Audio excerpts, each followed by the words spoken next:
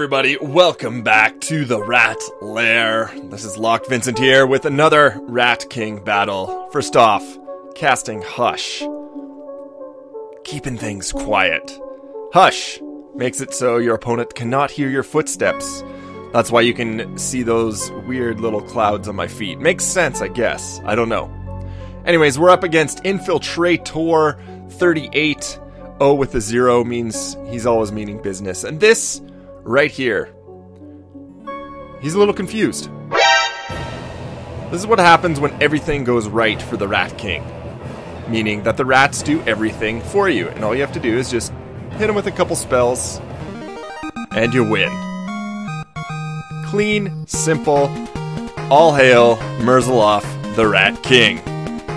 If you like these videos, you can subscribe, check out a couple other videos we have up there, and as always, thank you so much for watching. Bye bye.